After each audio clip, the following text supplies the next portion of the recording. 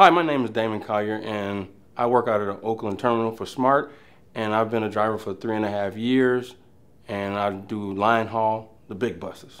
When I started, I had just a regular chauffeur's license. License. They they trained me on the buses, trained me how to get my CDL, and um, and they they paid me while I was trained.